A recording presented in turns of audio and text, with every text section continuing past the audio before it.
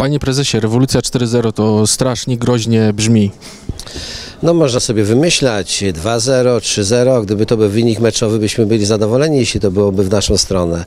Yy, owszem, rzuca się dzisiaj pewne określenia, yy, w jaki sposób ocenić przyszłość, która jest dla nas dla wielu nieznana, może i też y, to określenie jest też takie troszkę y, z wielkim znakiem zapytania. Myślę, że trzeba wytyczać kierunki, które muszą y, nadawać prędkość każdemu regionowi i oczywiście Polsce. No my jako olsztyniacy jesteśmy w środku Polski, gdzie powinniśmy naprawdę pokazywać jak najlepsze kierunki, jak najszybszy rozwój, bo przypisuje się nam, że zostaliśmy gdzieś daleko, enklawą nierozwiniętą, więc dzisiaj to przyspieszenie u nas bezwzględnie musi być i to bardzo dynamiczne. Określę, że zmiany, które dzisiaj postępują, to nie jest już tylko w przemyśle wymiana maszyn na nowe, y, na szybsze. Dzisiaj to już jest prowadzenie mechatroniki, y, nie tylko inżynierii, ale i szeroko pojętej cyfryzacji. Także nie chodzi tylko, żeby wyprodukować produkować produkt, ale już nie chodzi, żeby on był jakościowo dobry, ale chodzi, żeby wydajność była tak duża, żebyśmy mogli y, w dobrej cenie promować dobre produkty nie tylko w Polsce, nie tylko w Europie, ale na całym świecie. Konkurencja nam niestety przez ostatnie lata odjechała i dzisiaj nie polegać to będzie rozwój tylko na wymianie maszyn na nowsze, ale zmienić całą rewolucję myślenia, zarządzania, gdzie y, człowiek ma uzupełniać y, maszyny, urządzenia, które tworzą nam wydajność, jakość, a jak niestety do tej pory to się tylko liczyła praca rąk ludzkich i dzięki temu byliśmy najtańsi w Europie.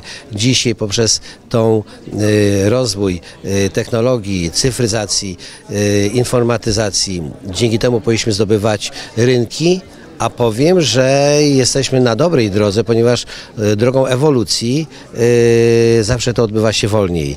My musimy nadrobić, dlatego tak jak na początku wspomniałem, że zostaliśmy gdzieś z tyłu, więc dzisiaj w sposób rewolucjonistyczny, rewolucyjny bardziej i szybciej podejmujemy, podejmujemy te wyzwania właśnie na te zmiany, na ten rozwój. Świadomie powiem, czy potwierdzę, że branża meblowa dzisiaj odskoczyła y, w technologii produkcji od całej Europy. Dlatego tak wysoko się ocenia polskie meble, polską produkcję meblową i pozycję polskiej meblowej w świecie. A czy firmy na Warmii Mazurach, bo Pan mówi właśnie o tym, że musimy dogonić, musimy przyspieszyć, minęło trochę tego czasu, gdzie tak byliśmy tam daleko, daleko. Nie jest jeszcze za późno, żeby dogonić tych światowych? Czy za późno. Y, no, wiem, y, powiem, że y, Ostatnie zmiany, które następują właśnie na etapie informatyki czy cyfryzacji, jest to e, element światowy. I tak jak występuje u nas to w drodze rewolucji, tym szybciej otwieramy się na te wszystkie zmiany, nowości, niż jest to wykorzystywane w Europie. Jest to czas, że możemy właśnie poprzez tego typu działania y, bardzo szybko dogonić y, Europę, a nawet ją y, przeskoczyć. I tu mówię o w zasadzie wszystkich dyscyplinach gospodarki, zresztą Boże, drukarki, które w naszym regionie się rozwijają, czy naprawdę cały świat technologii poprzez młodych ludzi, którzy są otwarci na zmiany może my, już te pokolenie trochę starsze, trochę boimy się tego. Yy, baliśmy się komputerów.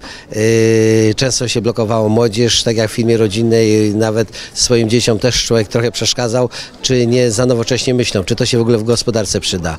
Yy, zezwoliliśmy na to, ażeby właśnie wprowadzać te nowe spojrzenie e, na przemysł, na gospodarkę i dobrze się dzieje, że nasze uczelnie tu olsztyńskie na to też e, mocno stawiają. Jesteśmy naprawdę w stanie nie tylko dogonić, ale w najbliższych pięciu latach i to w wielu dziedzinach gospodarki przeskoczyć gospodarkę europejską. Świadomie to mówię. I oby te słowa się sprawdziły, panie prezesie. No wiele rzeczy, które sugeruje w polskiej gospodarce naszym ministrom, dzisiaj wykorzystują to często jakie swoje, jako swoje stanowisko, ale jest tego sukces, więc przypisujemy sobie wszyscy ten sukces, bo będzie to i tak nasz wspólny.